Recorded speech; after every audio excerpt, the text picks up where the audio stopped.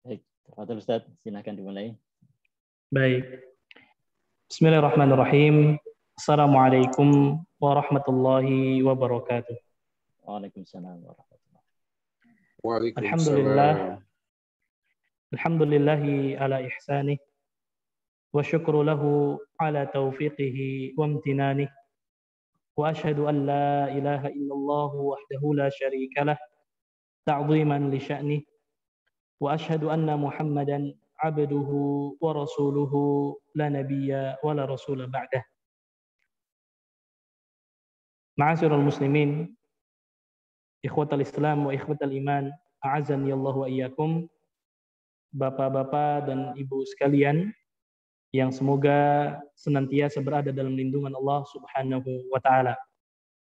Alhamdulillah, puji dan syukur marilah kita senantiasa terus panjatkan kehadirat Allah Subhanahu wa taala Rabb semesta alam Allah Subhanahu wa taala yang senantiasa memberikan kepada kita begitu banyak kenikmatan.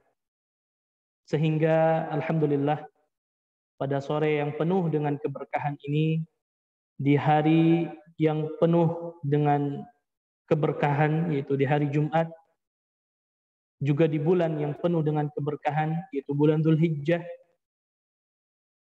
di hari tasyrik ya terakhir yang mana kita berharap dan memohon kepada Allah Subhanahu wa taala. Mudah-mudahan Allah Subhanahu wa taala menerima amal ibadah yang kita lakukan baik di 10 awal daripada bulan Dhul Hijjah ataupun ibadah Idul Kurban kita dan seluruh amalan yang kita lakukan. Kemudian kita juga memohon kepada Allah Subhanahu wa taala mudah-mudahan Allah Subhanahu wa taala menjaga kita semua dari keburukan wabah ini.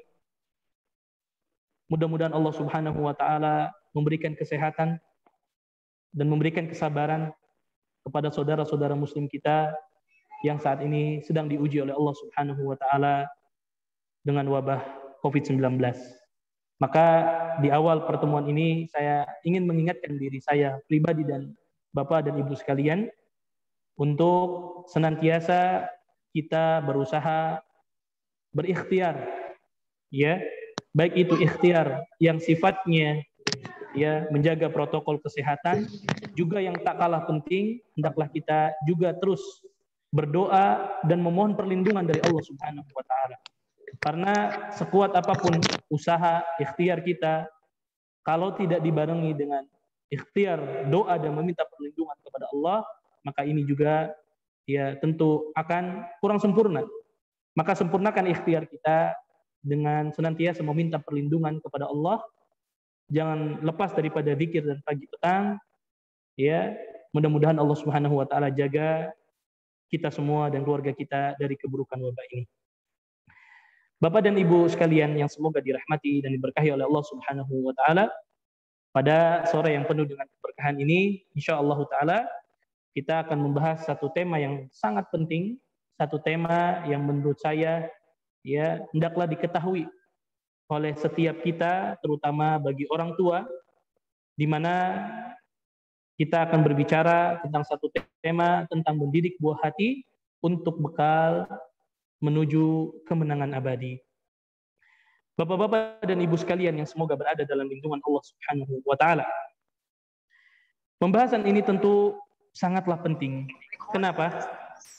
Karena kita perlu tahu bagaimana kita mendidik buah hati kita, mendidik anak-anak kita yang merupakan bagian amanah yang Allah Subhanahu wa taala amanahkan kepada kita agar amanah ini, anak-anak kita ini menjadi salah satu aset dan investasi yang menguntungkan bagi kita sebagai orang tua ya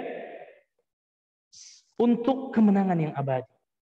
Tentu kemenangan yang abadi yang kita maksud yaitu kemenangan yang sesungguhnya, kemenangan yang sejati, yang tidak ada lagi nanti kemenangan setelahnya kecuali tatkala kita diberikan kesempatan oleh Allah Subhanahu wa taala untuk bisa bersama-sama hidup di surga Allah Subhanahu wa taala bersama keluarga kita, bersama anak cucu kita. Bapak-bapak dan ibu sekalian yang semoga dirahmati oleh Allah Subhanahu wa taala. Naam. Insya Allah beberapa pokok bahasan yang akan kita bahas pada pembahasan kali ini, mudah-mudahan di waktu yang satu jam ini kita bisa menyelesaikannya. Ya, insya Allah kita akan berbicara tentang latar belakang dari kenapa kita memilih tema ini dan sejauh mana urgensi dari anak atau buah hati itu sendiri. Kemudian mengapa kita diharuskan mendidik anak kita, mengapa kita diharuskan mendidik anak kita dengan pendidikan agama, kemudian ya bagaimana mendidik anak kita agar anak kita menjadi anak-anak yang soleh, yang mana nanti mereka akan menjadi harta paling berharga bagi kita, dan tentunya kesimpulan daripada pembahasan ini. Nah, Bapak dan Ibu sekalian yang semoga dirahmati oleh Allah Subhanahu wa taala. Mendidik buah hati dengan landasan agama merupakan bagian dari menjalankan amanah yang Allah Subhanahu wa taala amanahkan kepada kita. Tujuannya apa? Agar buah hati kita, anak-anak kita kelak menjadi salah satu aset dan investasi yang paling besar dan paling berharga bagi kita sebagai orang tua yang dapat menguntungkan kita ya ketika nanti kita dikumpulkan oleh Allah Subhanahu wa taala di surga Allah Subhanahu wa taala. Nah, tentu Bapak dan uh, Ibu sekalian yang semoga dirahmati oleh Allah Subhanahu wa taala, yang dimaksud dengan kemenangan yang abadi, kemenangan yang hakiki, kemenangan yang sejati adalah kemenangan yang Allah Subhanahu wa taala jelaskan di dalam Al-Qur'an.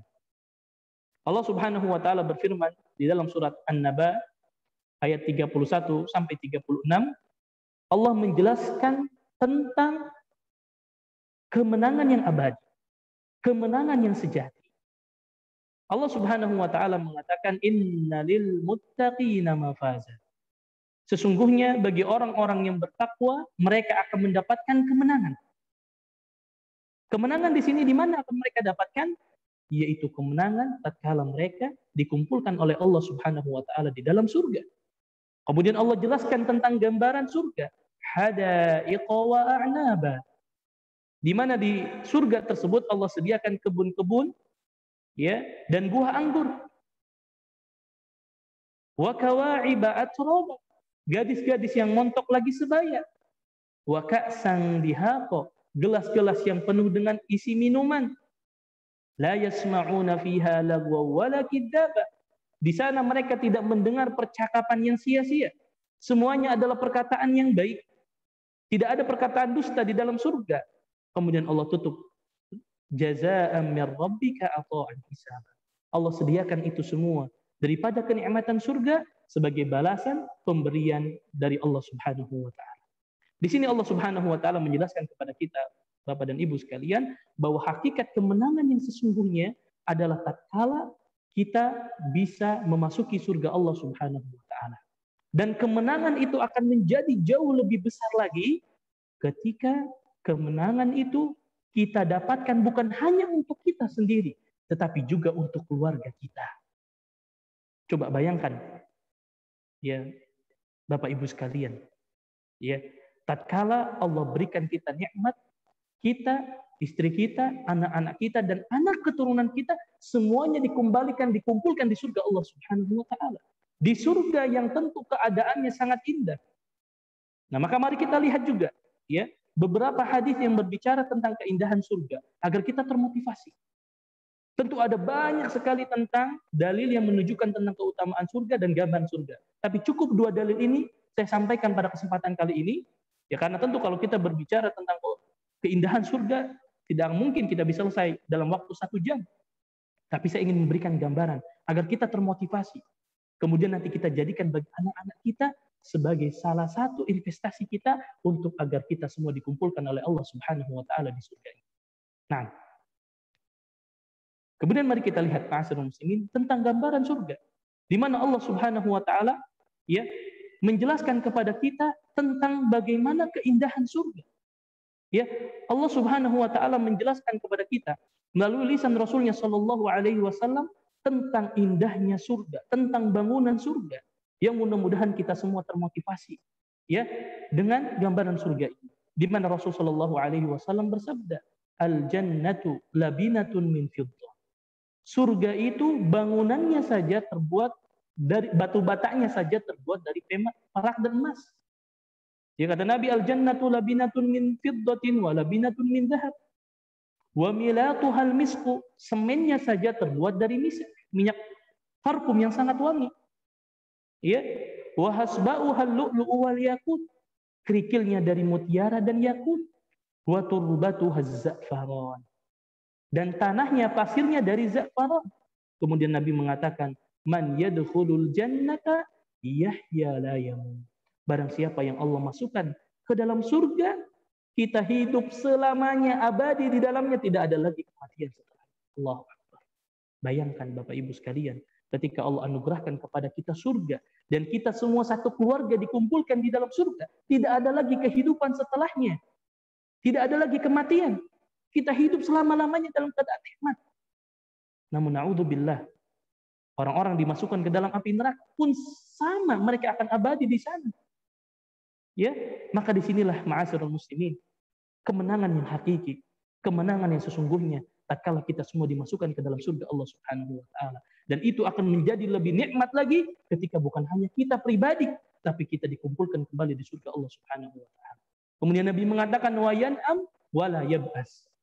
Ya, kenikmatannya tidak pernah putus, kekal tidak akan pernah mati. La tabla thiyabuhu, pakaiannya tidak pernah usang. Wala yubla syababuhu, dan masa mudanya tidak pernah tua. Sebagaimana tadi di ayat Al-Quran, ya dalam surat An-Naba dijelaskan bahwa kita nanti semuanya sebaya. Ya, kita, ibu kita, nenek kita, semuanya nanti kita seumuran sebaya. Maka jangan pernah kita gambarkan, Ustaz kok bisa kita sebaya?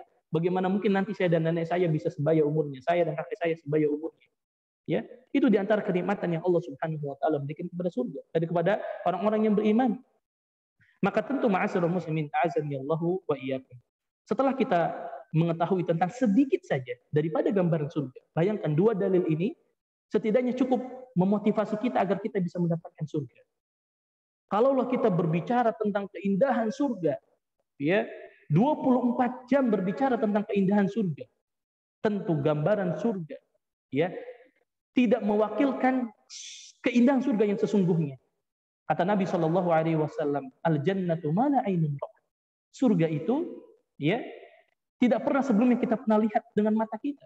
Seindah apa pun tempat yang ada di dunia ini, tidak akan sama dengan keindahan ya yang ada di surga. Jauh lebih indah keindahan yang ada di surga. Wala udunun samiat.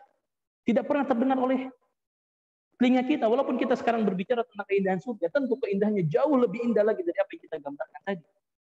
Wala khatara ala bin bashar. Bahkan tidak pernah terbesit ternyata keindahan surga seindah itu Allah berikan kepada kita. Oleh karena itu, ma'asirul muslimin, Bapak dan Ibu sekalian, maka kalau sekarang saya tanya semuanya, Bapak dan Ibu sekalian yang ada di pada forum ini, ya, apakah ayah bunda bersedia untuk hidup bersama dengan anak-anak Anda, dengan istri Anda, dengan keluarga Anda, dengan anak keturunan Anda di surga? Tentu saya yakin jawabannya 100% tidak diragukan lagi. Jawabannya iya. Bapak Ibu sekalian, pasti ingin hidup bersama di surga Allah bersama keluarga. Demi Allah, tidak ada kebahagiaan yang lebih membahagiakan bagi kita sebagai orang tua daripada tatkala Allah Subhanahu wa taala kumpulkan kita semua nanti di surga Allah Subhanahu wa taala. Kita berkumpul kembali di surga Allah setelah sebelumnya mungkin kita dipisahkan di dunia. Karena memang kita tidak pernah tahu siapa yang akan dipanggil duluan dari kita. Anda mungkin punya istri satu, anak lima, bisa jadi Anda yang duluan yang dipanggil oleh Allah. Bisa jadi istri Anda yang dipanggil duluan oleh Allah. Bisa jadi anak-anak yang Anda cintai yang saat ini Allah ambil duluan. Kita tidak pernah tahu, Bapak Ibu sekalian. Kita dipisahkan saat ini nanti di dunia. Mungkin sekarang kita bisa berkumpul. Kita masih dalam keadaan sehat, kita bertemu istri kita, kita bertemu anak-anak kita, semuanya dalam keadaan sehat. Tapi kita tidak pernah tahu siapa yang diambil duluan oleh Allah Subhanahu wa taala. Kemudian kita dipisahkan. Tidak bertemu lagi di alam dunia. Lalu bagaimana rasanya ketika kita di pisahkan di dunia, kemudian dikumpulkan kembali di surga Allah Subhanahu wa taala. Kita kembali bertemu dengan istri kita, kita kembali bertemu dengan anak-anak kita. Allah Akbar demi Allah, ini kebahagiaan yang paling bahagia yang kita dapatkan. Bukankah berkumpul bersama keluarga adalah satu kenikmatan yang kita rasakan saat ini di dunia? Bagaimana mungkin kita tidak bahagia dan gembira ketika kita berkumpul dengan saudara kita, dengan anak istri kita? Coba, mari saya ingin membuka pikiran kita bersama. Kita ambil contoh sederhana saja. Kenapa orang Indonesia akan mati-matian untuk pulang kampung ketika lebaran? Bukankah salah satunya adalah ketika mereka mungkin sudah lama tak bertemu dengan ibu mereka, nggak sudah lama nggak bertemu dengan sanak keluarga mereka, Bahkan segala upaya dilakukan untuk bisa bertemu dengan mereka. Ketika bertemu, hilang sudah rasa kerinduan kita. Itu di dunia. Bagaimana nanti kerinduan yang akan kita rindukan ketika Allah cabut nyawa kita. Kita tidak bertemu lagi dengan anak-anak istri kita. Kemudian ternyata di surga dikumpulkan kembali oleh Allah Subhanahu wa taala. Demi Allah, ini kebahagiaan-kebahagiaan yang sangat besar. Ya, yang mudah-mudahan kita berharap kepada Allah dan memohon kepada Allah mudah-mudahan kita dan keluarga kita semua dikumpulkan di surga Allah Subhanahu wa taala. Perlu diketahui Bapak dan Ibu sekalian bahwa semua kenikmatan dan kebahagiaan yang diinginkan oleh manusia di dunia ini tentu akan kita dapatkan nanti di surga Allah Subhanahu wa taala. Allah Subhanahu wa taala berfirman, "Walakum fiha ma tashtahi anfusukum walakum fiha ma tad'un." Kata Allah, di dalam surga kamu nanti akan memperoleh segala kenikmatan yang kamu inginkan. Dan kamu akan memperoleh kata Allah di dalamnya apa saja kenikmatan yang kamu minta. Ya, semua kenikmatan ada di dalam surga. Apa yang kita inginkan Allah Subhanahu wa taala akan penuhi. Ya. Dan tentu saya sampaikan tadi akan lebih jauh nikmat lagi ketika kenikmatan itu kita bisa rasakan sama-sama dengan keluarga kita, orang-orang yang kita cintai. Ya. Bentuk kenikmatan yang sangat luar biasa tatkala kita kembali dikumpulkan oleh Allah Subhanahu wa taala di surga dengan keluarga kita. Dan ini ya Allah Subhanahu wa taala jelaskan bahwasannya nanti kita bisa berkumpul dengan keluarga kita di surga. Allah Subhanahu wa taala berfirman dalam Quran surat Ar-Ra'd ayat 23, Allah jelaskan bahwa nanti ada kelak orang-orang yang dikumpulkan satu keluarga di dalam surga Allah. Allah Subhanahu wa taala jelaskan, "Jannatu 'adni yadkhulunaha wa man salaha min abaihim wa azwajihim wa dzurriyyatihim yaitu surga Aden yang Allah sediakan bagi mereka yang mereka nanti masuk ke dalamnya bersama orang-orang soleh dari bapak-bapaknya, istri-istrinya dan anak cucunya. Jelas ayat ini menunjukkan bahwasanya nanti kita di surga bisa dikumpulkan kembali oleh Allah Subhanahu wa taala bersama keluarga kita.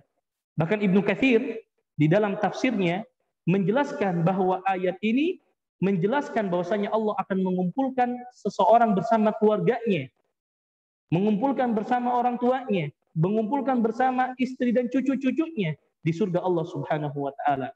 Kata beliau, ini adalah dalil bahwa satu keluarga bisa masuk surga bersama. Allahu Akbar. Ya, ini menunjukkan kepada kita ma'asyiral muslimin bahwa tentu kita berharap bahwa kita dan keluarga kita bisa dimasukkan ke dalam surga Allah Subhanahu wa taala. Namun yang menjadi pertanyaan dan ini harus kita tanyakan kepada diri kita dan kita semuanya. Kita sebagai orang tua, apa yang harus kita persiapkan agar amanah berupa anak ini yang Allah Subhanahu wa taala titipkan kepada kita bisa menjadi penolong kita dan bisa menjadi aset dan harta terbaik bagi kita untuk menuju Allah Subhanahu wa taala, menuju kemenangan yang abadi yaitu kita dan keluarga kita dikumpulkan di surga Allah Subhanahu wa taala. Maka inilah yang akan kita bahas masalah muslimin. Oleh karena itu, kita akan bahas terlebih dahulu apa urgensi buah hati kita. Jangan-jangan selama ini kita tidak bersyukur ya dengan apa yang Allah berikan berupa anak. Kemudian ketika kita sudah dapatkan amanah apa yang harus kita lakukan? Pendidikan apa yang harus kita ajarkan agar kelak anak-anak kita ini ya menjadi investasi dan harta terbaik kita yang akan nanti menolong kita agar kita semua dikumpulkan di dalam surga Allah Subhanahu wa taala. Nah. Yang pertama, ya, tentu urgensi anak, ya. Kita harus pahami bersama bahwa anak kita atau buah hati kita adalah nikmat dan karunia dari Allah. Itu harus kita pahami terlebih dahulu. Ya.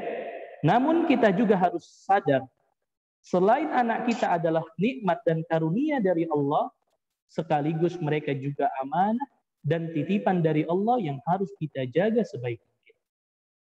Bapak Ibu sekalian semoga di senantiasa diberkahi oleh Allah, perlu kita sadari bersama bahwa anak kita ya adalah nikmat dari Allah Subhanahu wa taala. Karunia yang sangat luar biasa yang Allah anugerahkan kepada kita. Ya. Di antara cara agar kita merasa bahwa anak-anak kita ini adalah nikmat dari Allah yang luar biasa adalah mari kita perhatikan orang-orang di sekeliling kita. Berapa banyak orang-orang di sekeliling kita yang mungkin belum mendapatkan nikmat ini. Berapa banyak orang-orang yang belum dikaruniai anak oleh Allah Subhanahu wa taala. Berapa banyak orang-orang yang mungkin saat ini sedang mengangkat kedua tangannya meminta kepada Allah agar Allah anugerahi anak dan buah hati. Ya, maka Anda, saya dan kita semua yang mungkin saat ini sudah diberikan amanah berupa anak syukuri dan jaga mereka. Karena mereka harta yang paling berharga yang kita miliki masyarakat muslimin. Ya. Mari kita sama-sama menjadikan anak-anak kita ini ya menjadi harta yang berharga yang nanti akan menolong kita. Yang nanti mereka akan membantu kita untuk sama-sama kita disumpulkan di surga Allah Subhanahu wa taala.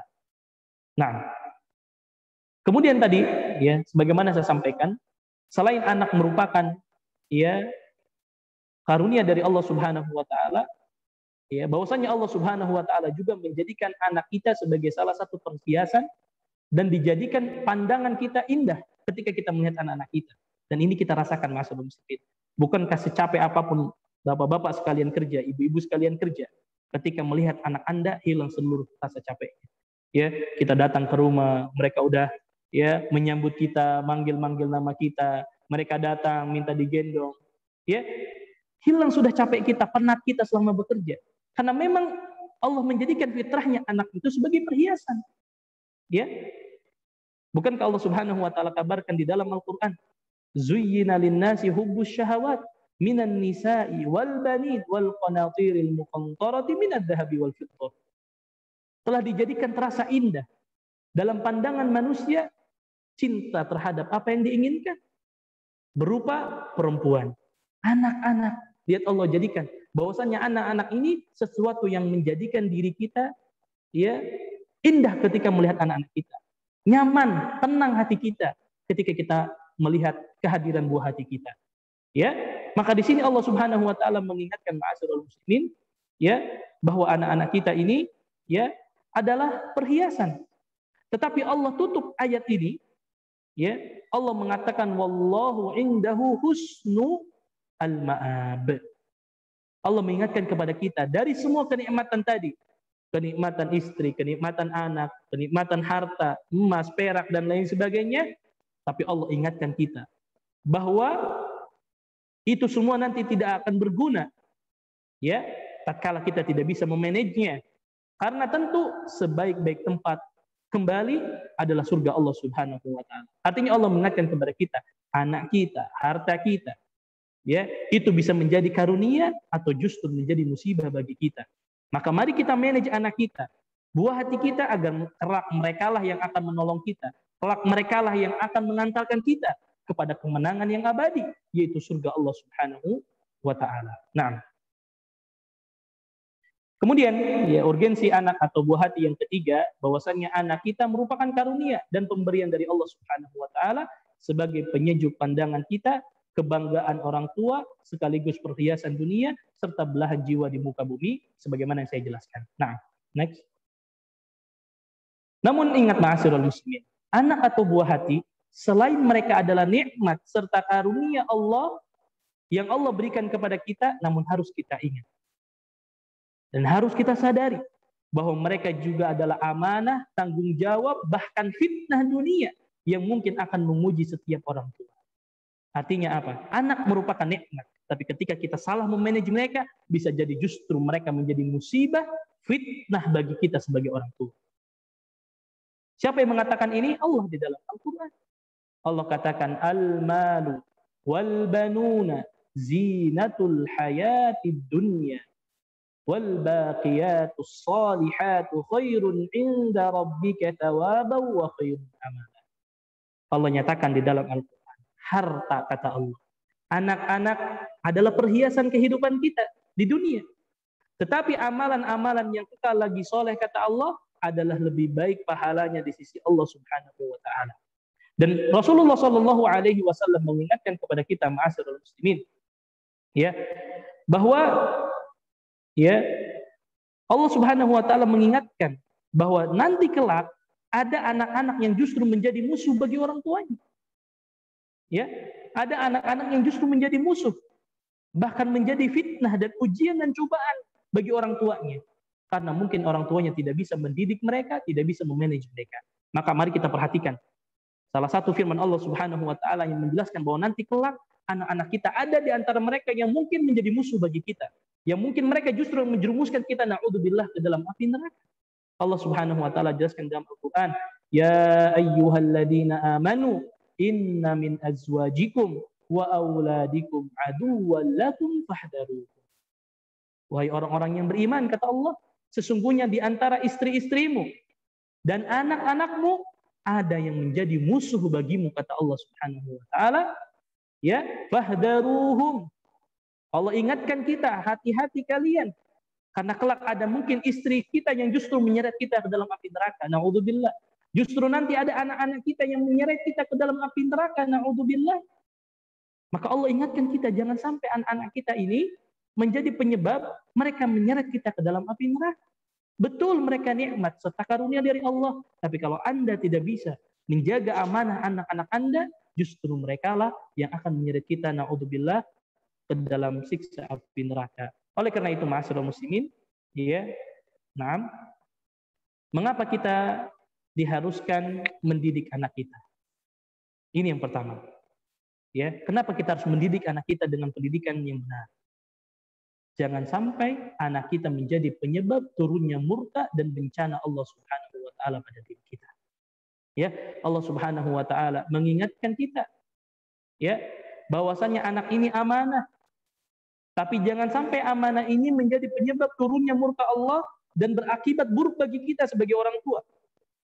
Ya Allah Subhanahu wa taala jelaskan, ya ayyuhalladzina amanu la takhunullaha war rasula wa takhunu amanatikum wa antum ta'lamun.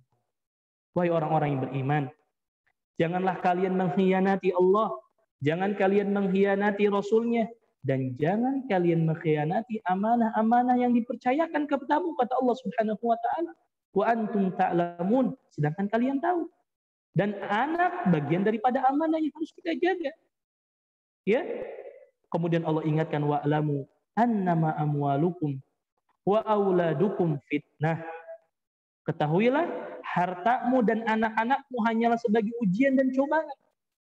Wallah wa annallaha indahu ajrun azim dan sesungguhnya di sisi Allah lah pahala yang besar. Allah mengingatkan kepada kita Bapak Ibu sekalian, jangan sampai adanya anak kita justru bukan menjadi karunia tapi menjadi sebab turunnya ada. Ya, maka di sini kita perlu untuk didik mereka. Kita ajak mereka kita ajarkan mereka, kita bimbing mereka, kita arahkan mereka dengan pendidikan agama agar kelak anak-anak kita lah yang nanti menolong kita, bukan justru menyeret kita ke dalam api neraka. Na'udzubillah. Nah, maka sebagai orang tua kita diperintahkan oleh Allah untuk menjaga amanah ini dengan sebaik-baiknya. Ya, yang nanti manfaatnya akan kembali kepada kepada kita. Ya, sebagai orang tua kita diperintahkan untuk menjaga amanah ini sebaik-baiknya. Ya. Kemudian Allah ingatkan kita juga di dalam ayat di dalam Al-Qur'an. Dalam surat Luqman ayat 23, Allah ingatkan kita, ya ayuhan nas, ya ayuhan nas taqu rabbakum. Wahai manusia, bertakwalah kalian kepada Rabb kalian Allah Subhanahu wa taala. Wakhshaw yawman la yajzi walidun aw waladihi wala mauludun anjazin aw walidihi syai'a Inna wa'dallahi haq fala taghurrannakumul hayatud dunya wala yaghurrannakum billahil ghurur. Allah ingatkan kita wahai manusia, bertakwalah kalian kepada Rabb kalian Allah dan takutlah pada satu hari. Ingat Allah ingatkan kita, takutlah pada satu hari di mana seorang bapak tidak dapat menolong anaknya. Allahu akbar. Dan seorang anak tidak dapat menolong bapaknya sedikit pun. Allah ingatkan kita akan ada satu masa di mana orang seorang ayah tidak bisa menolong anaknya. Seorang anak tidak bisa menolong bapaknya. Kemudian Allah ingatkan, sesungguhnya janji Allah itu adalah benar. Allah ingatkan hari-hari seperti itu akan ada. Kita harus percaya. Di mana seorang bapak tidak bisa menolong anaknya, seorang anak tidak bisa menolong bapaknya. Ya, maka janganlah kalian sekali-kali ya tertipu dengan kehidupan yang memperdayakan kalian kata Allah. Dengan jangan pula ya kalian terperdaya oleh syaitan yang menipu. Ya. Maka Allah mengingatkan kepada kita masyarakat muslimin bahwa mendidik anak kita ini kewajiban kita sebagai orang tua. Jaga anak kita agar nanti mereka yang menolong kita. Ya. Jangan sampai justru mereka menyeret kita. Nah. Kemudian ma'asyiral muslimin azan ya Allah wa iyyakum, ya tugas orang tua adalah menjaga anak-anak sebaik mungkin. Dengan cara apa? Dengan menanamkan nilai-nilai keislaman sedini mungkin. Nanti akan kita jelaskan ya tahapan dalam mendidik anak agar anak-anak kita menjadi anak-anak soleh. Tentu saya dan kita semua sama-sama sedang belajar. Ya, tentu semuanya pada prakteknya ini berat. Tapi kita niatkan bahwa anak-anak kita mari kita tanamkan sedini mungkin dengan nilai-nilai agama. Kalau Ustaz, anak saya sudah mulai dewasa, anak saya sudah besar, susah usah diajak untuk belajar agama dan sebagainya. Ya, setidaknya mungkin kita nanti akan punya cucu. Maka penyesalan kita yang lalu jangan sampai ini terjadi pada cucu kita juga ya atau tidak ada kata terlambat dalam mendidik anak kita walaupun mungkin anak kita sekarang sudah punya istri sudah punya anak atau anak kita sudah dewasa kita masih ada tanggung jawab kita masih ada kesempatan ya untuk tetap mengajak mereka kepada kebaikan agar nanti ketika kita dimintai pertanggungjawabannya di hadapan Allah kita bisa menjawab. Ya. Ma'asyiral muslimin azani Allahu wa iyyakum. Ya. Buah hati kita adalah aset dan investasi yang paling berharga yang akan menolong kita di saat raga kita tak akan lagi mampu untuk beramal. Bukankah pada pembahasan ya, kajian kita yang lalu kita sudah sampaikan bahwasanya di antara tujuh amalan yang akan terus mengalir kepada seorang hamba di saat mereka tidak lagi mampu beramal di antaranya anak soleh. Mereka meninggalkan anak soleh yang senantiasa berdoa untuk kedua orang tuanya. Allah mengatakan wa anna laisa lil insani illa masa'at dan bahwasanya manusia hanya memperoleh terhadap apa yang diusahakannya. Ya, tentu kita akan hanya mendapatkan pahala terhadap apa yang kita lakukan. Tetapi akan ada satu amalan yang pahalanya akan terus mengalir kepada kita tatkala kita meninggalkan anak yang soleh. Ya. Dalil yang sudah kita hafal semua. Idza mata Adam in qata'an wa malhu ila min salah. Apabila anak Adam meninggal dunia, maka terputuslah seluruh amalannya. Kecuali yang tiga, salah satunya ya au taraka waladan ya ketika mereka meninggalkan seorang anak ya yang memintakan ampun kepada Allah Subhanahu wa taala. Anak-anak yang soleh yang kita tinggalkan inilah aset yang paling berharga yang harus kita jaga. Oleh karena itu, ya, mari kita harus tahu bagaimana cara mendidik kita. Mendidik anak-anak kita agar menjadi anak-anak yang soleh, ya agar ya kita juga ya sebagai orang tua telah mendapatkan ya manfaat dari mendidik anak-anak kita dengan pendidikan agama. Nah, mengapa kita dianjurkan untuk mendidik anak kita?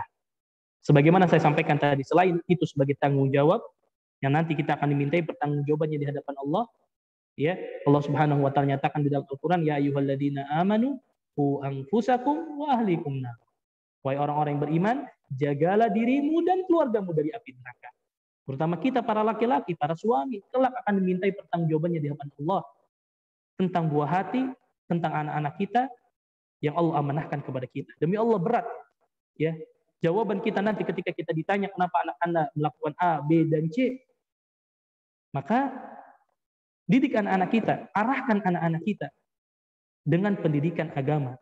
Arahkan anak-anak kita, bekali mereka agar mereka bisa menjadi aset yang paling berharga bagi kita di saat kita tidak lagi mampu untuk beramal. Nah,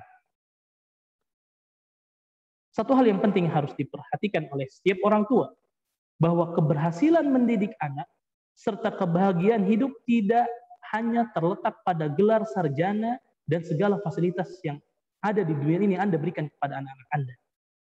Dan ini terus terang saya sampaikan. Banyak orang tua yang tertipu dengan ini. Sebagian orang tua ya memberikan fasilitas kepada anaknya Masya Allah. Apa yang anaknya inginkan dari dunia diberikan. Anaknya ingin sekolah sampai gelar A, B, dan C dipenuhi. Tapi tidak dibekali dengan pendidikan agama. Bahkan kalau kita tanya, apa itu rukun iman? Apa itu rukun Islam? Mungkin mereka nggak tahu. Kalau seandainya mereka suruh buka baca mushaf Al-Quran, mereka nggak bisa baca Al-Quran. Allahu Akbar. Ini musibah. Musibah bagi orang tua. Orang tua menyangka bahwasanya kalau saya dianggap orang tua yang bah, yang sukses adalah ketika anak saya ya lulus memiliki gelar yang sangat banyak. Anak saya sukses dalam urusan dunia. Tapi ketika ditanya tentang urusan agama, tentang ditanya tentang tata cara sholat, mereka mungkin tidak tahu. Maka saya sampaikan bahwasanya orang tua yang seperti ini yang sebetulnya orang tua yang tidak berhasil. Ya. Dan ini realita yang terjadi. Berapa banyak kita lihat orang tua yang bekerja membanting tulang, tidak pernah kenal lelah. Dari pagi sampai malam, tidak kenal waktu. Ketika ditanya apa? Ini semua saya lakukan Ustaz untuk kebahagiaan anak saya. Betul. Anda akan mendapatkan pahala dari Allah karena Anda memberikan nafkah kepada anak Anda. Tetapi apakah cukup hanya sekedar materi yang kita berikan kepada anak-anak kita? Demi Allah bukan itu saja. Sudahkah kita cukupkan pendidikan mereka dengan pendidikan agama? Sudahkah kita tanamkan kepada mereka nilai-nilai akidah yang benar? Sudahkah kita tanamkan kepada mereka agar anak-anak kita mampu membaca Al-Quran?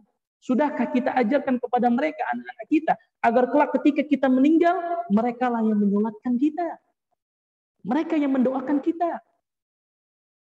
Karena demi Allah, orang tua yang bahagia bukan orang tua yang hanya memiliki anak sukses dari sisi dunia. Tapi ketika ditanya tentang masalah akhirat, ketika ditanya tentang urusan agama, mereka tidak memilikinya. Artinya apa? Capek orang tua, kasihan. Kerja banting tulang, antum habiskan waktu antum untuk mencari uang, tapi hanya sekedar memberikan ya sisi dunianya saja tapi tidak diberikan sisi akhiratnya. Ya, terkadang ma'asirul muslimin. Ya, bahkan tidak sedikit orang tua yang mungkin kehilangan waktu ibadahnya. Lupa sholatnya, sibuk dengan urusan dunia. Mencari materi dengan alasan hanya ingin membahagiakan anak dan istrinya. Maka di sini kita bisa pahami ma'asirul muslimin betapa anak mampu menggelincirkan orang tua dari jalan kebenaran. Tidak sedikit orang tua menggadaikan akidahnya naudzubillah karena anaknya demi bahagia. Terkadang anak pun melalaikan orang tua dari akhirat karena sibuk mencari harta demi semata dengan alasan saya ingin membahagiakan anak saya dari sisi materi saja. Bukan berarti ini kesal, bukan berarti tidak boleh kita membahagiakan anak kita dari sisi materi itu bahkan dianjurkan. Bahkan kita diperintahkan untuk mencari nafkah sebaik mungkin untuk anak kita. Tapi Allah ingatkan, jangan sampai kita hanya pada satu faktor satu sisi kita membahagiakan mereka dari sisi materi saja, tapi kita lupa membahagiakan mereka dari sisi agamanya. Karena kehidupan nanti yang akan selamanya, yang abadi adalah di surga Allah Subhanahu wa taala. Ya. Sebagian orang tua mungkin berasumsi bahwa orang tua yang beruntung adalah mereka yang berhasil menyekolahkan anaknya sampai mengerai gelar dokter dan lain sebagainya. Anaknya bisa menjadi insinyur, anaknya bisa memiliki segudang titel dan dengan gelarnya. Ini mungkin asumsi yang benar. Tidak salah kalau di sisi dari sisi dunia. Tetapi juga sebagaimana saya sampaikan tadi, jangan sampai kita lupakan pendidikan rohani, pendidikan religi, pendidikan agama, penanaman akidah yang benar kepada anak-anak kita. Karena demi Allah kita akan ditanya oleh Allah tentang hal ini. Bukan hanya sekedar ditanya apakah ya tentang pakaian yang dipakai oleh anak kita, tentang makanan yang dimakan oleh anak kita, tapi kita juga akan ditanya tentang pendidikan agama apa yang sudah kita ajarkan kepada mereka. Nah, Ya, anak kita membutuhkan pendidikan rohani dan bimbingan keislaman agar mereka kelak tumbuh menjadi pribadi yang seimbang, mengerti tugasnya sebagai hamba Allah. Mereka tahu kapan waktunya sholat, kapan waktunya mereka ibadah, kapan waktunya membaca Al-Quran, kapan mereka ya bersodakoh. Ini yang kita harapkan. Bahwasanya anak-anak kita memahami kedudukan sebagai anak yang memahami tugasnya sebagai seorang hamba Allah Subhanahu wa taala. Ya, Tentu memiliki anak soleh merupakan dambaan setiap keluarga. Ya. Tapi tentu juga kita harus berusaha. Ya, bukan hanya sekedar harapan, tapi ada usaha yang kita lakukan agar anak-anak kita menjadi anak-anak yang soleh dan solehah. Nah, dan Bapak Ibu sekalian, mari kita sama-sama merenungi alangkah baiknya jika kita memiliki anak yang bergelar doktor, sekaligus juga seorang yang muwahhid, orang yang akidahnya benar, orang-orang yang senantiasa mentauhidkan Allah berusaha menjauhi diri dari segala hal yang dapat menjerumuskannya kepada kesyirikan. Sangat indah rasanya kalau kita punya anak berprofesi sebagai dokter, tapi juga mungkin bisa membaca Al-Quran. Bahkan mungkin, Alhamdulillah, apalagi mereka bisa menghafal Al-Quran. Paham tentang pengetahuan Islam. Mana pengetahuan yang memang penting untuk mereka ketahui. Karena betapa bahagianya orang tua yang memiliki anak berprofesi sebagai arsitek kah, dokter kah, insinyur kah, pengusaha kah. Tapi mereka seorang insinyur yang mukmin, yang muhsin, seorang yang soleh. Hingga ilmu mereka betul-betul bisa bermanfaat untuk kemaslahatan Allah Akbar. Artinya apa? Jangan sampai kita hanya fokus pada sisi dunia saja, tapi kita melalaikan pendidikan anak kita pada sisi akhiratnya. Nah, Kemudian ma'asyiral muslimin, ya, bagaimana kita mendidik anak-anak kita agar menjadi anak yang soleh dan soleh ini yang terpenting. Ya, setelah kita mengetahui urgensinya tadi, kita tahu kita ingin semua dimasukkan ke dalam surga Allah, maka bagaimana cara kita agar kita mendidik anak-anak kita menjadi anak yang soleh? Tentu banyak sekali disebutkan oleh para ulama, tapi saya menyebutkan sebagiannya saja karena keterbatasan waktu. Nah, yang pertama ma'asyiral muslimin, ya, di antara cara terbaik agar kita memiliki anak-anak yang soleh, soleh yang nanti kelak mereka akan menolong kita, yang kelak nanti kita bisa berkumpul bersama anak dan keluarga kita di surga Allah adalah keteladanan. Ya, orang tua mana pun yang menginginkan untuk memiliki anak yang soleh dan soleha, maka hendaknya terlebih dahululah orang tua yang menjadi orang tua yang soleh dan soleha. soleha. Masyarul muslimin.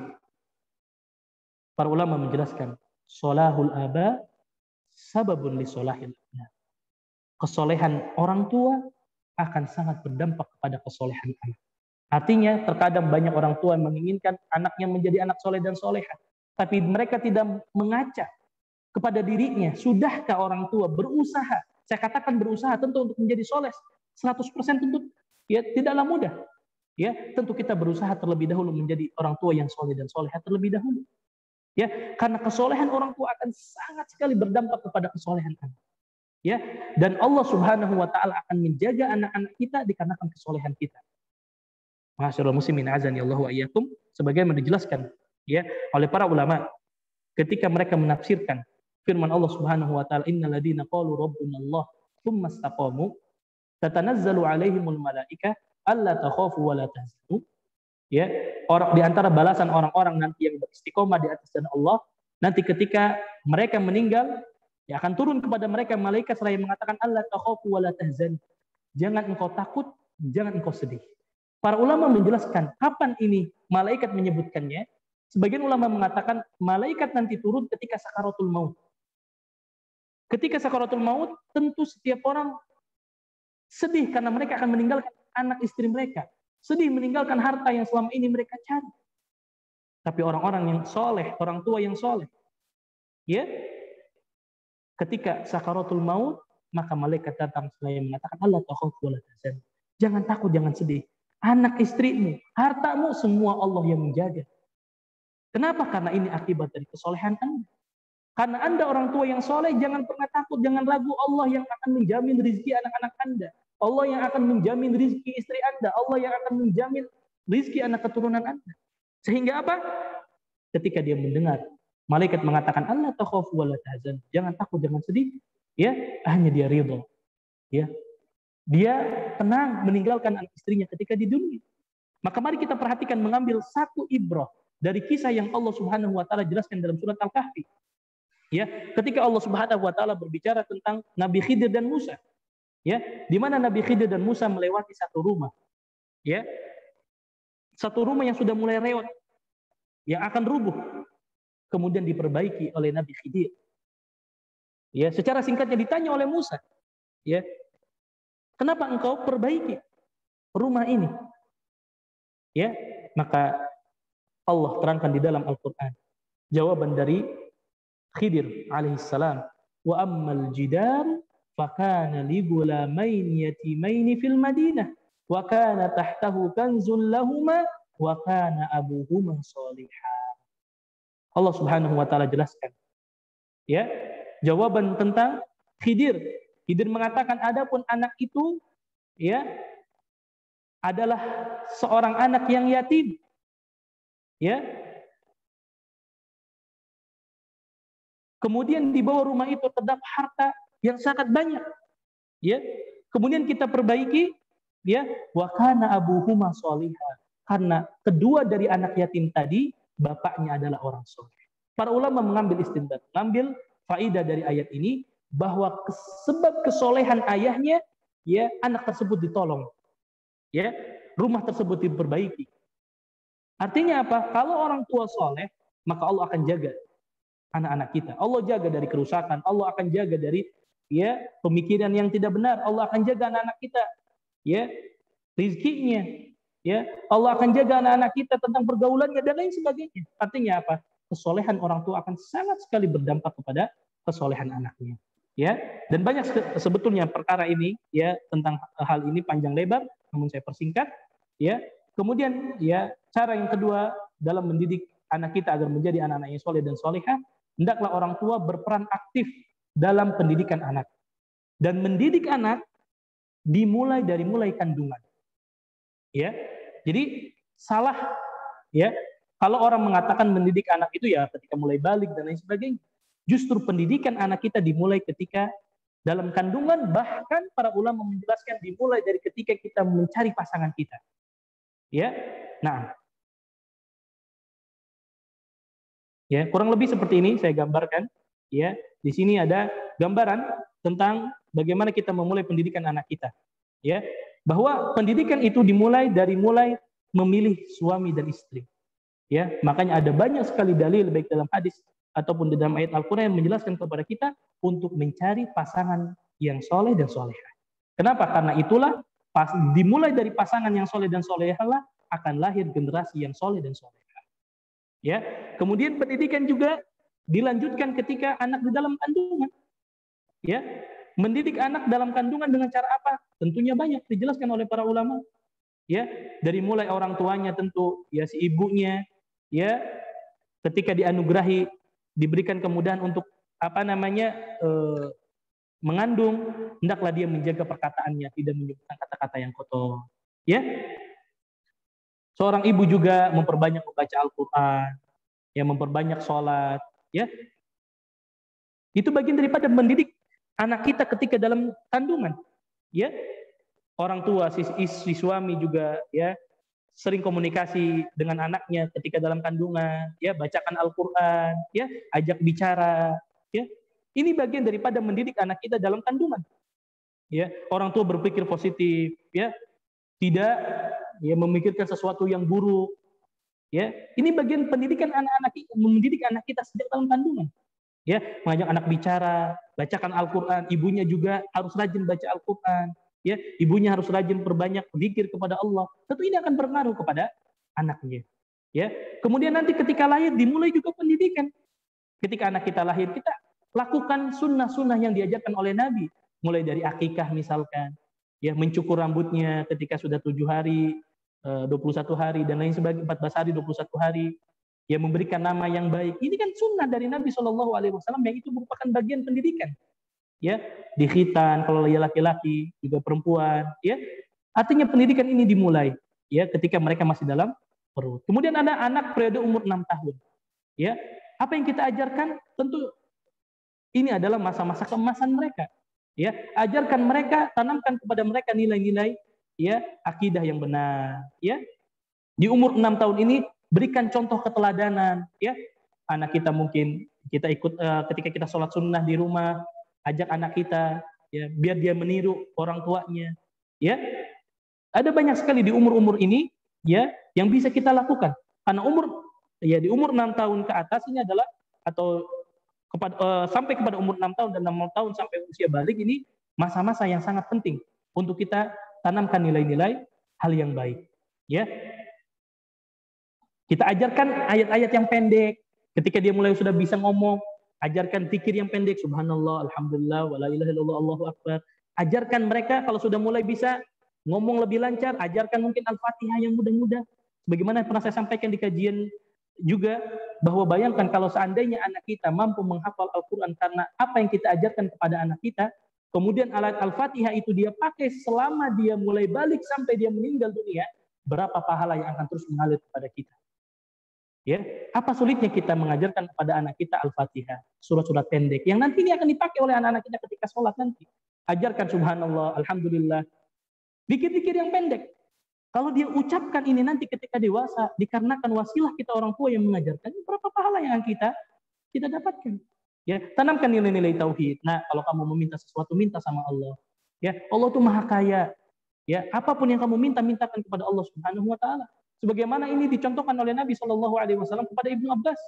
Ya, bukankah suatu hari Ibnu Abbas dibonceng oleh Nabi Shallallahu alaihi wasallam, kemudian Nabi mengatakan, "Ya gulam, inni u'allimuka kalimatin ihfazillaha yahfazka ihfazillaha tajidhu tujah. Jagalah Allah niscaya Allah akan menjaga. Ya jagalah Allah niscaya engkau akan dapatkan Allah di hadapanmu dan lain sebagainya daripada nilai-nilai tauhid. Ya artinya tanamkan nilai-nilai tauhid juga sejak dini ketika mereka sudah mulai balik. Ya kemudian ketika mereka sudah enam tahun ke atas sudah memasuk usia balik mulai kita ajarkan mereka sholat ya bukankah Nabi Shallallahu Alaihi Wasallam memerintahkan kepada kita untuk memulai mengajak anak-anak kita sholat ketika mereka mudah mencapai usia usia balik. Ya, Nabi SAW mengatakan muru auladakum bis sholat. Ya, perintahkan anak-anakmu untuk sholat. Ya, ketika mereka sudah umur tujuh tahun. Wadribuhum pukul mereka ketika mereka sudah umur 10 tahun. Ya, ini pendidikan yang diajarkan oleh Nabi Shallallahu Alaihi Wasallam. Kemudian nanti usia remaja, kita ajarkan nilai-nilai ya eh, agama yang yang benar, ajarkan mereka bagaimana cara membaca Al-Qur'an yang benar sampai usia dewasa sampai anak kita berumah tangga. Ya, dengan cara apa kita pilihkan jodoh mereka? Ya, jodoh yang soleh dan soleh dan lain sebagainya. Ini semua bagian daripada pendidikan agar anak-anak kita menjadi anak-anak yang soleh dan soleh. Nah, kemudian ya tadi tanamkan nilai-nilai akidah dan pengetahuan keislaman sejak dini. Ya, ajarkan kalau kita meminta-minta kepada Allah, ajarkan bahwasannya dosa yang paling besar yang dapat menjadikan seorang hamba kekal di dalam api neraka adalah kesyirikan. Ya, tanamkan nilai-nilai ini, jangan sampai kamu nanti terjerumus pada kesyirikan dan lain sebagainya dari ya nilai-nilai akidah. Nah, kemudian yang keempat tegakkan amal ma'ruf nahi munkar. Dan ini terus terang poin juga yang sangat penting Bapak Ibu sekalian, betul juga panjang pembahasannya bahwa terkadang orang tua ya saking sayangnya kepada anak tidak mau menegakkan amal ma'ruf nahi munkar. Bahkan mohon maaf, saya termasuk orang yang tidak setuju ketika kita tidak boleh mengatakan kepada anak jangan. Ya karena berkembang dalam ilmu psikologi katanya jangan mengatakan kepada anak, jangan lakukan, jangan begini mengatakan kepada anak. Padahal dalam agama kita diajarkan agar kita amal ma'ruf nahi munkar. Ketika anak kita melakukan kesalahan, tegur mereka. Kalau memang itu jangan dilakukan, sampaikan jangan. Ya tentu dengan cara yang baik dulu. Ya tentu tidak dengan pukulan yang dapat apa namanya dapat uh, uh, membuat mereka cedera dan lain sebagainya. Sampai karena ini jangan dilakukan tidak boleh. Ya ini terlarang dan sebagainya. Ini bagian amal ma'ruf nahi munkar jadi salah. Menurut saya ketika orang tua jangan mengatakan jangan. Ya. Akhirnya ada pem, apa, pembenaran. Membiarkan anak-anak kita melakukan satu kesalahan kemudian kita biarkan ya tegakkan amal ma'ruf nahi munkar dalam keluarga kita tentu dengan cara-cara yang baik dengan adab yang baik ya kapan kita tegas kapan kita disiplin kapan kita ya kepada anak kita berlaku eh, rahmat apa namanya kasih sayang kita Ya, maka dalam agama kita ada namanya targhib buat tarhib. Ada anak-anak kita kita memberikan punishment hukuman, kapan juga kita memberikan reward kepada mereka. Ini tegakkan amal ma'ruf. Jangan ketika kita ah, kita sayang anak kita, ya subuh jam 7 belum bangun sayang, sampai dia semalam habis mengerjakan tugas. Kemudian kita biarkan. Ini kesalahan fatal. Ya. Bangunkan mereka subuh. Baik, ajarkan mereka amal ma'ruf nahi munkar di dalam keluarga kita. Nah, kemudian nah ini juga tidak kalah pentingnya masyarakat muslimin ya hendaklah kita berikan anak-anak kita dari makanan yang halal demi Allah ya makanan yang halal akan sangat berpengaruh kepada kesolehan seorang anak dan makanan yang haram akan sangat berpengaruh kepada tingkah pola perilaku anak kita maka perhatikan nafkah kita dari mana kita dapatkan apakah dari halal atau yang haram karena akan datang satu masa di mana manusia tidak lagi memperhatikan dari mana mereka mendapatkan rezeki apakah dari yang halal atau yang haram ya ini juga pembahasan yang panjang ya sebagaimana dijelaskan oleh uh, oleh Nabi SAW tentang seorang yang doanya tidak pernah dikabulkan oleh Allah Subhanahu wa taala. Ya, padahal dia sudah melakukan sebab-sebab terkabulnya doa. Tetapi apa kata Nabi? Ya, wa mat'amuhu haram, wa malbasuhu haram, wa bil haram, ana yustajabulah. makanan yang dia makan tumbuh dari yang haram, minuman yang dia minum dari yang haram, pakaian yang dia pakai dari yang haram, bagaimana Allah akan mengabulkan doanya? Kenapa? Karena sebab terhalang doa yang paling besar adalah ketika mereka makan dan minum dari sesuatu yang haram. Maka perhatikan dari mana harta kita kita dapatkan, maka perhatikan nafkah kita juga apakah didapatkan dari yang halal atau yang haram. Karena harta yang halal akan sangat berdampak baik kepada perilaku anak, harta yang haram pun akan sangat berdampak kepada ya perilaku tingkah kepada anak-anak kita. Nah. Kemudian uh, ma'asyiral muslimin azan Allah wa yakum, selain kita lakukan tadi usaha-usaha tadi, tentu yang terpenting juga adalah jangan lupakan untuk berdoa. Perbanyak doa kepada Allah Subhanahu wa taala agar kita dianugerahi anak-anak yang soleh dan soleh. Ya. Dan ini penting saya sampaikan kepada orang tua, jaga lisan kita. Semarah apa pun kita, jangan ucapkan ucapan yang buruk kepada anak kita. Panggil anak kita, doakan anak kita dengan panggilan yang baik. Kita kesel nih, eh greget. Kamu nih mau jadi apa? Mau jadi preman aja. seperti itu. Kita khawatir ucapan kita diaminkan oleh malaikat, kemudian dikabulkan. Ya, kalau kita kesel nih, eh, mau kamu jadi mau jadi apa? Mau jadi ustadz, mau jadi penghafal Quran. Coba sesekali kalimat buruk itu diganti dengan doa yang baik. Ya, kenapa kata Nabi SAW, salatu da'awatin yustajabu lahunna la syakka Tiga doa yang tidak akan pernah ditolak oleh Allah Subhanahu wa taala di antaranya dakwatul walid di walid. Doanya orang tua untuk anak. Ingat doa ucapan yang kita ucapkan ini mustajab sebagai orang tua. Maka ucapkan dan doakan anak kita dengan doa dengan doa yang baik. Ya, lihat Nabi Ibrahim alaihissalam, Abul Anbiya, bapaknya para nabi, seorang ahlu tauhid. Apakah cukup hanya mendidik anaknya menjadi anak soleh seperti Nabi Ismail? Tidak cukup. Nabi Ibrahim berdoa kepada Allah, Rabbi habli minas solihin. Ya Allah anugerahkan kepadaku anak yang soleh. Lihat Nabi Zakaria berdoa kepada Allah, Rabbi habli min ladunka dzurriyyatan thayyibatan innaka sami'ud du'a. Wahai Rabbku, berilah aku dari sisi engkau seorang anak yang baik. Sesungguhnya engkau maha mendengar doa. Ya, maka hendaklah kita berdoa meminta kepada Allah. Doakan anak kita, sisipkan dalam sujud kita, sisipkan dalam waktu-waktu mustajab kita, kita minta kepada Allah agar Allah anugerahkan kepada kita anak keturunan yang soleh dan soleha. Ya, ada banyak dalil disebutkan oleh para ulama ya tentang pentingnya kita berdoa untuk diberikan anak-anak yang soleh dan soleha. Nah, kemudian kesimpulannya masuk dalam muslimin azan ya Allah yakum kita sebagai orang tua diwajibkan untuk mendidik anak-anak kita dengan pendidikan Islam ya untuk menuju kemenangan yang abadi yaitu berkumpul di surga Allah Subhanahu wa taala ya bahwa anak kita adalah investasi harta yang paling berharga ya di mana Ketika kita memiliki anak yang soleh dan soleha, mereka lah yang akan mengirimkan pahala untuk kita. Mereka yang akan memintakan ampun untuk kita. Dan subhanallah ma'asirul muslimin, betapa bangganya ketika orang tua nanti di surga terheran-heran. Ya, ketika Allah Subhanahu wa taala masukkan dia ke dalam surga Allah Subhanahu wa taala. Sebutkan dalam sebuah hadis bahwasannya nanti ya di surga Allah Subhanahu wa taala ada orang tua yang terheran-heran. Ya, ada orang tua yang terheran-heran ketika derajatnya diangkat oleh Allah Subhanahu wa taala. Ya sebagaimana disebutkan dalam hadis yang sahih, innar rajula la turfa'u darajatuhu fil jannah fayaqul anna hada fayaqulu bistighfari. Nanti kelak ada orang tua yang benar-benar diangkat derajatnya, dinaikkan derajat surganya oleh Allah Subhanahu wa taala. Kemudian dia kaget, "Ya Allah, kenapa Engkau angkat derajatku?" Kemudian kata Allah, "Istighfari waladikala." Ini semua dikarenakan istighfar permohonan ampunan dari anakmu dari anak-anakmu yang soleh. Maka kita berharap dan memohon kepada Allah Subhanahu wa taala mudah-mudahan kita semua dikumpulkan di dalam surga Allah Subhanahu wa taala bersama seluruh anggota keluarga kita.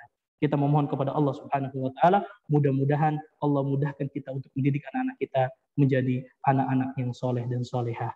Wallahu taala alam ya. Kemudian saya juga ingatkan ya bahwa kebahagiaan orang tua yang paling bahagia adalah ketika nanti Allah Subhanahu wa taala kumpulkan mereka semua ketika mereka sudah berpisah di dunia dikumpulkan kembali oleh Allah Subhanahu wa taala di surga Allah Subhanahu wa taala dan mudah-mudahan kita termasuk orang-orang yang dikumpulkan oleh Allah Subhanahu wa taala bersama keluarga kita di surga Allah Subhanahu wa taala. Wallahu taala alam ya. Uh, mudah-mudahan apa yang saya sampaikan ini bermanfaat dan mohon maaf kalau saya terlalu cepat dikarenakan memang uh, waktu yang sangat terbatas. Kemudian pembahasan ini juga tidak bisa kita bahas secara uh, singkat ya. Mudah-mudahan ini bermanfaat bagi diri saya menyampaikan yang saya juga masih belajar dalam mendidik anak-anak saya dan mudah-mudahan kita juga uh, ini juga bermanfaat bagi Bapak Ibu sekalian minimal ini sebagai pengingat Ya, pengingat untuk saya dan pengingat untuk Bapak dan Ibu sekalian. Wallahu taala alam.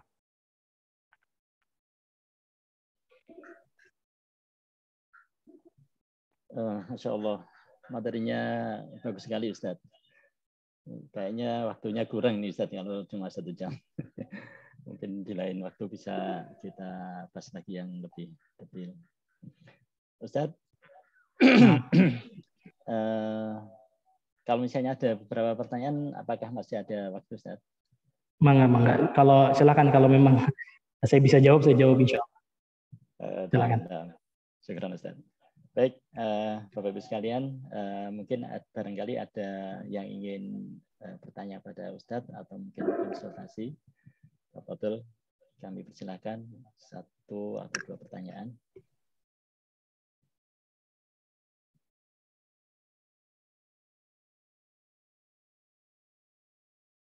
Silakan. Uh, Assalamualaikum. Apa Ustadz mau nanya, Ustadz? Iya. Izin nanya Uh, Enggak, silakan. Ya. Uh, ini kadang apa ya? Kadang kita uh, ada pemahaman bahwasanya rezeki masing-masing orang tua maupun anak itu sudah ditetapkan, tat. Tapi nah.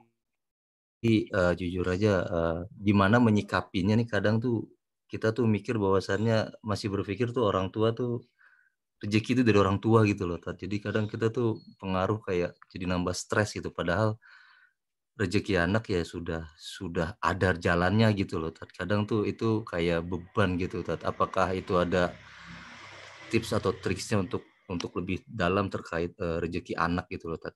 Itu sih, Tat. Baik. Makasih, Tat. Baik. Uh, terima kasih atas pertanyaannya. Ya, betul bahwa uh, setiap kita, ya Bapak dan Ibu sekalian, sudah uh, ditentukan ya rezeki kita ketika masuk kepada empat bulan di dalam kandungan. Sebagaimana disebutkan dalam sebuah hadis yang sahih, Nabi Shallallahu Alaihi Wasallam bersabda, Inna hadakum yujma'u khalquhu fi batni ummihi arba'ina yawman nutfatan. Sesungguhnya setiap kalian dikumpulkan penciptaannya ya dalam perut ibunya, dalam rahimnya ya selama 40 hari dalam keadaan setetes air mani. Tsumma yakunu alaqatan misla dalik. Kemudian 40 hari berikutnya menjadi segumpal darah. Tsumma yakunu mudghatan misla dalik kemudian empat hari berikutnya menjadi segumpal daging. Ya, 40 40 40 120 artinya sudah empat bulan. Kemudian ketika empat bulan tsumma yursalu ilaihil. Kemudian dikirimkanlah malaikat fayu'maru bi arba'i kalimat. Kemudian ditentukan empat perkara kepada janin tersebut. Salah satunya adalah bikat rizkihi. Ditentukan rizkinya, ajalnya dan amalnya. Sa'idun atau saqiyun atau sa'idun. Apakah dia hidup bahagia atau hidup sengsara? Betul bahwa setiap kita sudah ditentukan rezekinya oleh Allah Subhanahu wa taala. Ya. Maka Allah Subhanahu wa taala juga mengingatkan kepada kita para orang tua. Ya, agar kita jangan pernah khawatir dengan rezeki anak-anak kita. Maka Allah mengingatkan dalam Al-Qur'an wala taqtulu auladakum khasyyata imlaq. Janganlah kalian membunuh anak-anak kalian karena kalian takut fakir kata Allah. Allah yang memberikan rezeki kepada kalian dan Allah yang memberikan rezeki kepada mereka kata Allah. Maka jangan pernah khawatir. Setiap kita sudah ditentukan rezekinya oleh Allah Subhanahu wa taala dan tidak akan pernah tertukar. Namun Ustaz bagaimana kalau seandainya ada perasaan ya bahwa terkadang anak-anak kita jadi beban bagi kita nih Ustaz. Ya. Bukan nambah rezeki, punya anak malah terkadang ya mungkin kita makin sulit Ustaz. Ya tentu ma'asyiral muslimin azan ya setiap kita berbeda-beda ujiannya dari Allah Subhanahu wa taala. Mungkin ada di antara kita yang diuji oleh Allah ya ketika kita punya anak justru ya mungkin rezeki kita mulai mengurang. Ya, itu bisa jadi ujian dari Allah Subhanahu wa taala. Tetapi yakinlah tidaklah Allah Subhanahu wa taala menguji kita melainkan sebagai bentuk kecintaan Allah kepada kita. Bukankah Nabi mengatakan, "Idza ahabballahu 'abda ibtala." Apabila Allah mencintai seorang hamba, Allah akan mengujinya. Ya, apabila Allah Subhanahu wa taala mencintai seorang hamba, Allah Subhanahu wa taala menguji. Ya. Maka tadi saya sampaikan terkadang anak itu menjadi anugerah dan juga menjadi fitnah. Maka tinggal bagaimana kita menyikapinya. Ya. Maka kalau tadi ditanya bagaimana Ustaz menyikapi agar kita menjadi tenang dan lain sebagainya. Tadi satu, yakini bahwasannya setiap rezeki kita dan anak kita sudah diatur oleh Allah Yang kedua bisa jadi Allah menguji dengan anak kita tadi. Ya, ketika kita punya anak, ya malah rezeki kita misalkan menjadi berkurang dan lain sebagainya. Jangan dipahami bahwasanya oh ini anak yang buat rezeki saya menjadi berkurang, jangan. Tapi bisa jadi Allah uji kita dengan melalui anak kita ini. Sabar atau tidak kita. Ya, dan tidaklah Allah menguji kecuali sesuai dengan batas kemampuan kita. Ya.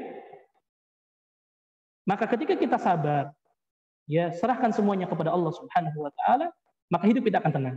Dan yakinilah tidak ada yang terjadi di muka bumi ini melainkan semua takdir Allah. Kalau kita yakini itu, seberat apa pun ujian yang menghampiri kita, maka kita akan tenang. Ya, makanya Nabi mengatakan aja bandi amri mukmin. Sungguh menakjubkan pribadi seorang mukmin. Ya, karena seluruh perkaranya adanya baik. Apabila ditimpa musibah, dia bersabar. Apabila dia ya diberikan nikmat, dia bersyukur. Ya, artinya apa, Bapak dan Ibu sekalian? Ya, anak yakinlah, ya membawa keberkahan kepada kita. Anak adalah karunia bagi kita. Tapi tadi saya ingatkan bahwa anak juga bisa menjadi fitnah dan ujian bagi kita. Ya, tinggal kita sebagai orang tua bagaimana menyikapinya. Dan yakin bahwa setiap kita sudah ditentukan rezekinya oleh Allah Subhanahu wa taala tidak yang ditentukan. Tinggal tugas kita berdoa kepada Allah Subhanahu wa taala dan berikhtiar ya berikhtiar untuk mencari rezeki, berikhtiar untuk mencari nafkah kita. Sudah serahkan semuanya. Kalau kita sudah usaha, kita sudah berdoa, ternyata rezeki kita begitu-begitu juga ya sudah. Ya. Kita tawakal kepada Allah Subhanahu wa taala. Wallahu taala a'lam. Mudah-mudahan bisa menjawab. Nah, Tat. Syukran, Tat. Jazakallah khair. Afan. Afan. Uh, mungkin satu lagi, barangkali masih ada yang ingin bertanya. Assalamualaikum Pak Ustadz. Waalaikumsalam. Pak Catika. Semoga Ustadz dalam keadaan sehat dan kita semua juga Amin. dalam keadaan sehat. Amin. Amin. Amin. Ustadz, Amin. mohon ini kebetulan saya mau tanya terkait. Kebetulan kan Ana punya dua orang anak laki-laki nih Pak Ustadz. Nah, kebetulan masih balita.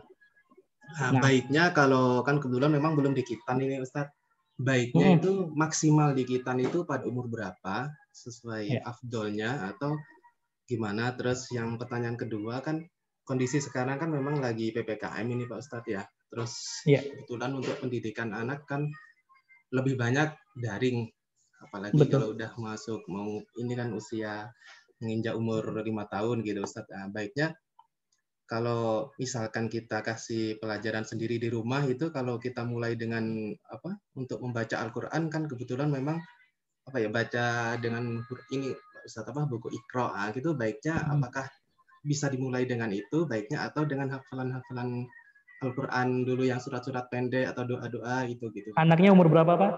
Empat tahun, empat tahun satu empat tahun? tahun, satu dua tahun setengah. Iya. Hmm. Itu Ustadz Jazakallah khair. Baik. Baik, barakallahu. Baik, pertanyaan pertama adalah eh, umur berapa idealnya seorang dihitan, ya. Tentu kalau kita berbicara masalah ideal dan sunnah Nabi Shallallahu Alaihi Wasallam, tentu ya anak laki-laki idealnya dan baiknya ya dihitan ketika berbarengan dengan akikah. Ya, artinya uh, di boleh di hari ke-7, ke-14 atau ke-21. Ya. Itu idealnya dan sunnahnya. Ya, karena uh, setahu saya wallahu taala kalau di sini ada dokter mungkin bisa juga disampaikan setahu saya semakin uh, dia di hitan di waktu uh, lebih muda ya di masih masih masih kecil itu jauh lebih baik secara kesehatan dan secara psikologi anak. Secara kesehatan jelas ya biasanya anak yang sudah disunat itu secara kesehatan kesehatannya lebih baik. Ya.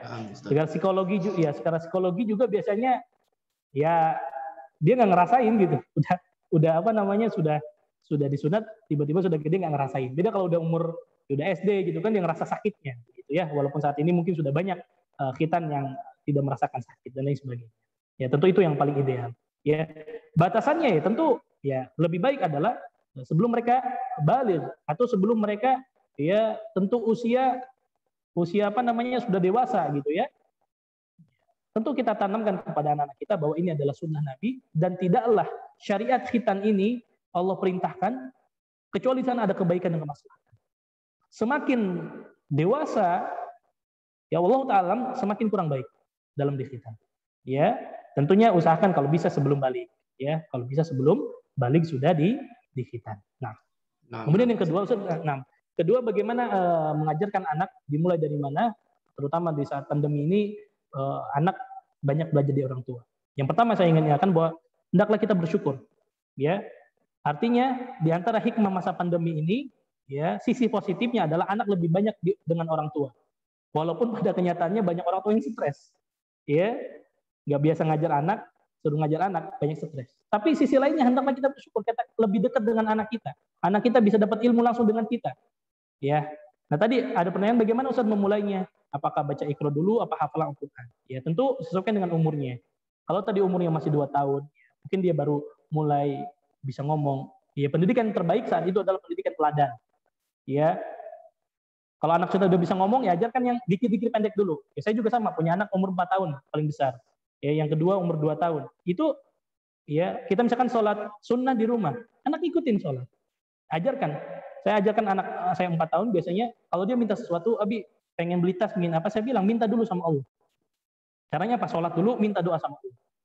Ya, kemudian kita belikan nanti. Nih, ya ini salah satu ya karena kamu minta sama Allah, berdoa sama Allah, Allah pasti akan kabulkan. Kenapa?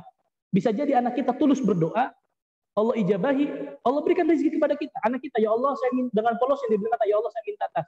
Tas harga berapa? 50 bisa jadi Allah berikan apa yang lebih besar kepada kita. Ya, ini pendidikan teladan dulu yang kita ajarkan kalau anak-anak kita umur masih ya masih kecil tadi. Kalau dia udah bisa ngomong, ajarkan yang pendek-pendek dulu. Ya, saya biasa ajarkan ya pikir subhanallah, alhamdulillah, Allahu akbar gitu kan. Kalau dia udah bisa merangkai-merangkai, ajarkan Al-Fatihah. Umur 4 tahun biasanya udah bisa ajarin Al-Fatihah, ayat-ayat pendek gitu ya. Ikro bisa diajarkan kalau dia bisa kalau dia udah bisa bisa ngomong, ya. Kita ajarkan alif, ba. Insya Allah itu bermanfaat. Ya, ajarkan minimal ikro sampai dia bisa baca Al-Quran, insya Allah itu manfaat, manfaat sekali. Artinya bertahap, bertahap, ya. Ajarkan yang mudah-mudah dulu, jangan materi-materi yang sulit. Kalau anak kita, karena tipe anak beda-beda, ada tipe anak yang memang cepat ngafal, ya.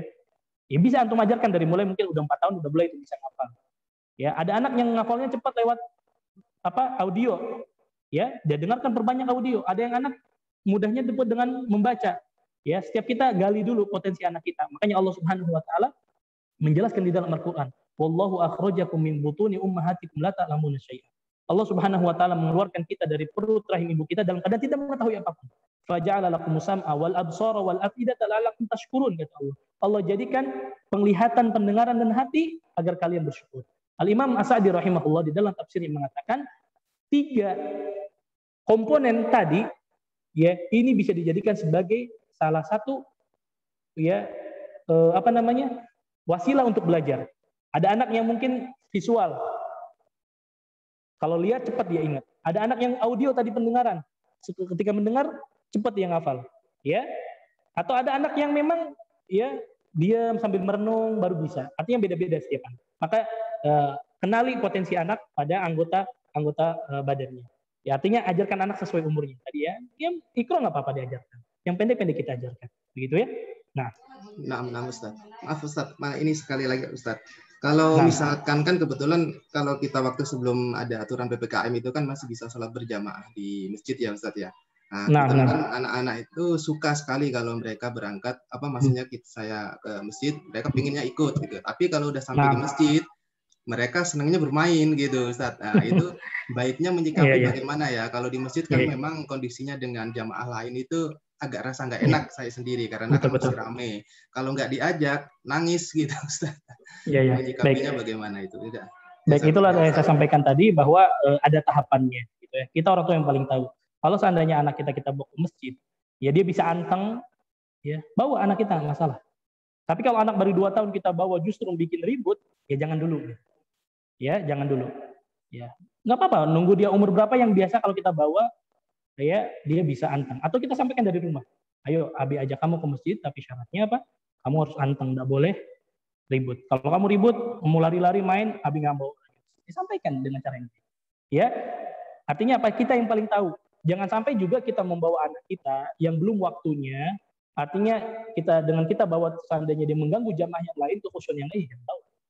Ya, dan ajarkan sedikit-sedikit. Ayo, Abi ajak kamu ke masjid syaratnya satu. Jangan lari-lari. Misalkan kita bawa hari pertama enggak, di hari kedua lari-lari. Udah bilang, anak kamu lari-lari kemarin, Abi nggak ikut lagi. Nggak apa-apa, itu bagian daripada ma'ruf nahi. Itu bagian dari targhib buat tarhib, ngasih punishment dan reward. Sebaliknya, kalau kamu nanti di masjid, ya anteng, abi kasih hadiah deh, nggak apa-apa. Anak memang di usia-usia itu senangnya hadiah. Kita iming-iming dengan hadiah sementara nggak apa-apa. Ya, kalau sudah dewasa nanti mereka Allah Nah, nah, jasa Iya. Pak Ustadz, ini ada satu pertanyaan lagi Ustadz dari nah. chat. Uh, izin bertanya Ustadz, terkait potensi anak yang harus dikembangkan untuk masa depannya, apakah kita hmm. beri kebebasan pada anak untuk memilih dengan catatan masih dalam koridor syar'i atau kita arahkan sesuai dengan keinginan kita, misalnya jadi ustadz atau ahli hmm. ilmu agama. Ya. Ustadz. Baik. Uh, tentu uh, ma'asyiral muslimin azanillahu terkait dengan potensi ini tentu ada banyak variabel ya yang harus kita perhatikan ya. Variabel pertama adalah uh, kita lihat potensi anak kita. Tentu hendaknya orang tua paling tahu tentang ke mana nih potensi anak kita. Ya, Artinya jangan sampai yang lebih tahu justru gurunya. Yang lebih tahu justru pembimbingnya misalnya. Hendaklah orang tua yang paling tahu karena orang tua yang paling banyak bersentuhan langsung dengan anak kita, ya. Artinya yang pertama yang paling bagus adalah kita lihat sesuaikan dengan potensi yang ada. Ya, ke mana anak kita memiliki potensi. Ya. Ketika kita tahu oh anak ini uh, potensinya ini bagus nih ngafal, gitu kan. Cepet kalau ngafal. Ya, arahkan mereka untuk menghafal Quran. Ya, arahkan mereka untuk menghafal Al-Quran. Artinya apa? Kita lihat potensi anak kita arahnya ke mana dulu. Itu yang penting. Ya. Kemudian ketika mereka sudah menekuni potensinya, kelebihannya, ya baru kita arahkan. Nah, kayaknya kamu nih Abi lihat cocoknya jadi ini nih. Gimana menurut kamu? Ajak musyawarah. Ya, maka nanti ada dalam pendidikan eh, anak ketika umur dewasa itu adalah bukan pemaksaan, Ya, kalau masih kecil boleh kita memaksa mereka. Tapi kalau udah dewasa biasanya diajak bermusyawarah. Makanya di dalam Al-Qur'an ketika Allah Subhanahu wa taala memerintahkan nabinya Ibrahim alaihissalam untuk menyembeli namanya, untuk menyembeli anaknya Ismail alaihissalam, apakah tiba-tiba ketika mendapatkan wahyu tersebut Nabi Ismail langsung ambil pisaunya lalu kemudian langsung gorok anaknya? Kan enggak. Ya. Dipanggil Ismail. Qala ya abati inni arafil manami anni adbahuka fangdur madza. Wahai anakku, semalam Bapak mimpi. Ya, diperintahkan untuk menyembelihmu. Apa pendapatmu? Lihat, diajak musyawarah. Ini ketika usia dewasa, diajak musyawarah. Ya, artinya tanya, kayaknya Abi lihat nih kamu posisinya ke sini. Kamu gimana menurut kamu? Ya, ada posisi di mana misalkan kita oh enggak saya saya maunya begini begini A B dan C ternyata A yang pilihan A B dan C adalah potensi yang melanggar syariat nah di sini baru orang tua ikut campur di situ kalau seandainya potensinya itu, enggak Bu, saya uh, pengennya misalkan ya, saya misalkan jadi uh, dokter anak ya. Bapaknya pengen jadi ustadz misalkan. Ya, selama itu bermanfaat untuk Islam dan kaum muslimin silahkan gitu. Tapi penanaman akidah, penanaman uh, apa namanya? pengetahuan keislaman tetap kita ajarkan selama mereka masih masih kecil. Ya. Artinya apa begini? Ketika anak kita memilih satu pilihan yang itu melanggar syariat baru kita arahkan kita paksa bahkan. Jangan sampai dia mengarahkan menjerumus kepada apa namanya eh, potensi yang justru menjerumuskan dia kepada eh, kepada keburukan gitu. Tapi kalau seandainya memang potensi dia kita arahkan anak kita misalkan tidak mau dengan arahan kita tapi pilihannya adalah masih dia bolehkan dalam sisi syariat ya silahkan gitu. Tentu orang tua dalam hal ini tidak juga terlalu memaksa, tidak juga membiarkan begitu saja. Kapan orang tua harus memaksa? Ketika apa namanya dia memilih satu pilihan yang memang itu melanggar syariat. Itu orang tua harus terjun di sana. Ya, kalau seandainya orang tua ini masih masih apa namanya masih dalam koridor agama dan kayaknya anak saya menikmati itu, anak saya punya potensi juga di sana silahkan. Itu ya artinya orang tua yang paling tahu tentang potensi anaknya dengan catatan kalau dia memilih kepada sesuatu yang melanggar syariat agama, maka di situ baru orang tua bisa tegas sebagai bentuk amal ma'ruf dan nahi munkar. Wallahu taala. Masya Allah, uh, menarik sekali Ustaz materinya.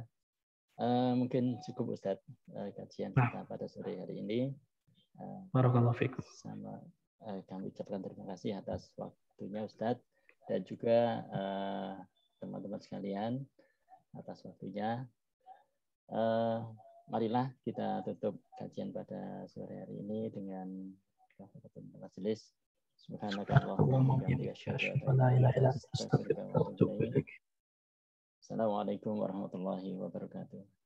Waalaikumsalam warahmatullahi wabarakatuh. Saya izin live ya. Waalaikumsalam.